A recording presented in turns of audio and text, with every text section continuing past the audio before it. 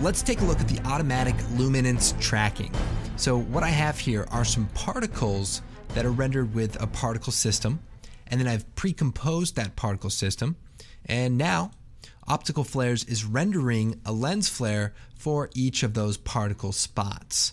And uh, we're creating a lot of lens flares automatically from those light spots. And it's also tracking the brightness, the scale, and the color of the size of each of these particles.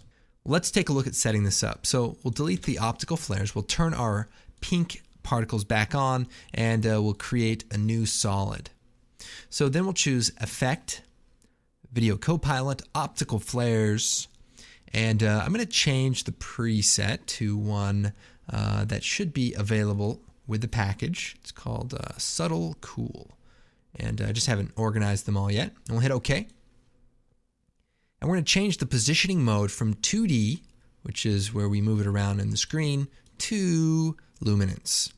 And then we select the layer we want to track, which is our particles layer. And automatically we get particles.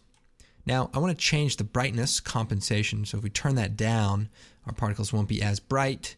And uh, there we go.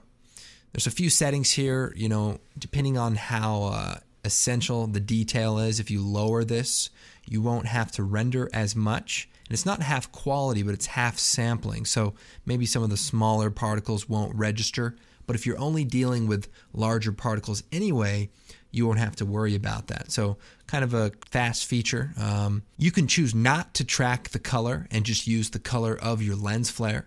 And uh, you can also control whether or not to track the scale or the brightness. So, if you don't track the scale, the lens flares will all be exactly the same size. And uh, likewise, with the brightness, they'll all be the same brightness. Otherwise, we turn it all on, and uh, we can even turn our particles back on and change the transfer mode to screen and uh, you know everything is there and it's uh, it's having a good time